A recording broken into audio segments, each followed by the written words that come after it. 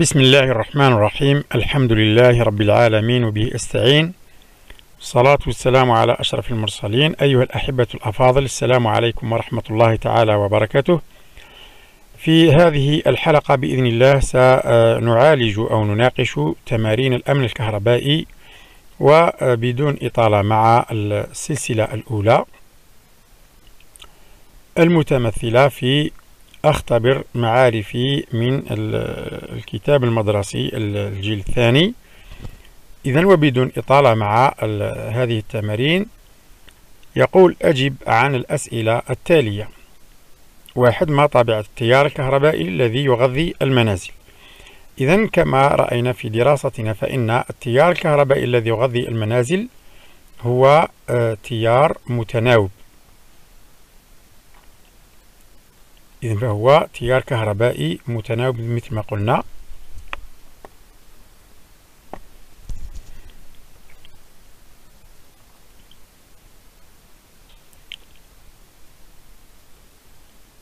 لأنه آه، مصدره هو آه، عبارة عن مولدات لتعتمد على مبدأ التحريض الكهرومغناطيسي. وبالتالي يكون متغير التوتر بين قيمتين حديتين موجبة وسالبة بشكل دوري منتظم. ما الفرق بين المنصهرة والقاطع التفاضلي؟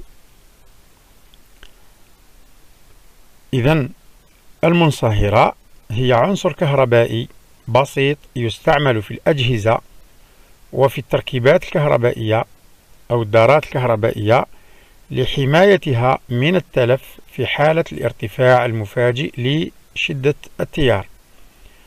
في حين أن القاطع التفاضلي هو جهاز كهربائي يستعمل في الشبكة الكهربائية أو في الشبكات الكهربائية وبالضبط مباشرة بعد العداد لحماية التركيبات وحماية الأجهزة وحماية المستعمل من مخاطر التيار الكهربائي التي تكون ناتجة عن الدارات المستقصرة.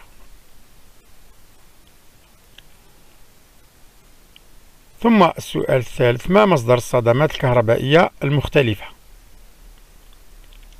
إذا فمصدر الصدمة الكهربائية هو ملامسة سلك الطور للهيكل المعدني لجهاز كهربائي في حين أن الرمز الممثل على الصورة يعني هذا المثلث الذي يعمل آه، علامة يحمل علامة الشرارة الكهربائية فإنه يدل على التنبيه إلى الإصابة بصدمة أو صعقة كهربائية في حالة لمس المكان الذي توجد عليه هذه البطاقة سواء كان وجدناه على جدار وذلك في آه، مكان أو على باب مثل ما هو آه، مثل ما نجده في أماكن المولدات. المحولات أو على الأجهزة الكهربائية. إذن هذا بالنسبة للسلسلة أو الجزء الأول. اثنين أذكر مختلف الطرق الأمنية التي تحمي التركيبات الكهربائية من التلف بسبب الارتفاع المفاجئ والشديد لشدة التيار الكهربائي. إذن قلنا من الطرق الأمنية التي تحمي التركيبات استعمال المنصهرات في أسلاك الطور. إذا هذا تمثيل للمنصهرة. يعني منصهرة بحجم صغير منصهرة للتجهيزات وليست للتركيبات.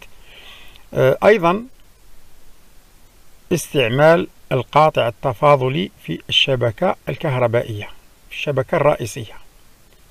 فالقاطع التفاضلي يحمي الأجهزة يحمي التركيبات يحمي المستعمل من الصدمات. وهذه صورة لنموذج من آه، آه، القواطع التفاضلية التي تستعمل في التركيبات الرئيسية أو في الشبكات الرئيسية. السؤال الموالي يقول اختر الجواب الصحيح.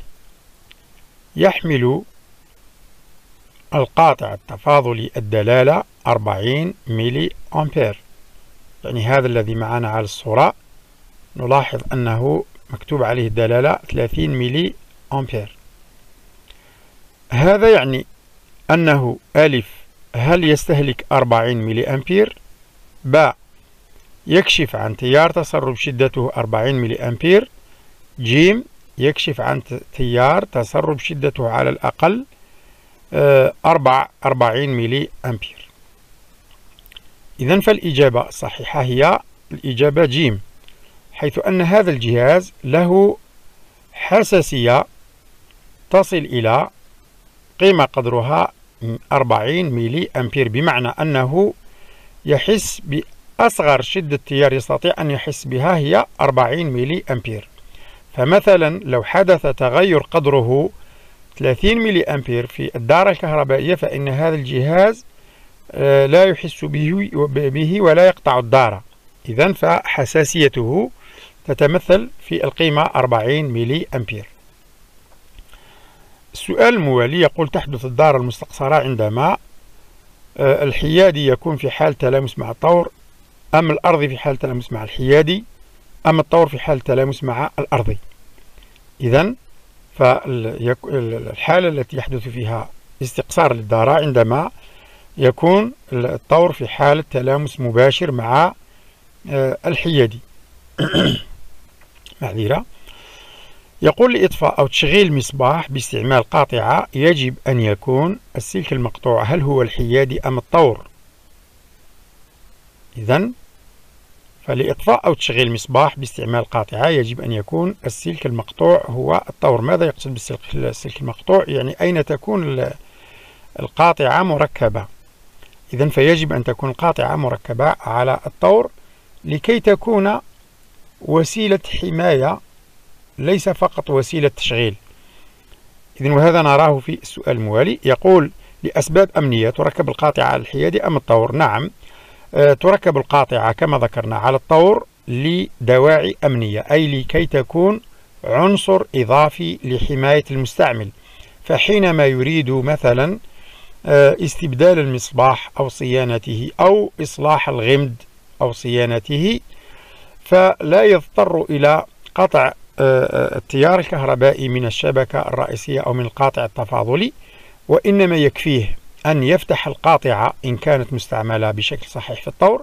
قلنا يكفيه أن يقطع التيار بفتح القاطعة فحينما يفتح القاطعة يصبح المصباح وغمده في حالة معزولة عن الدارة الكهربائية. إذا بهذا نكون قد وصلنا إلى نهاية هذه الحلقة. في الأخير أسأل الله العلي القدير أن نكون قد وفقنا. كما نأمل أن تكونوا قد استفدتم مما قدمناه لكم. وإلى الملتقى في الحلقة القادمة بإذن الله التي سنناقش فيها السلسلة الثانية والمتمثلة في أطبق معارفي. إلى ذلكم الحين دمتم في رعاية الله وحفظه والسلام عليكم ورحمة الله تعالى وبركاته.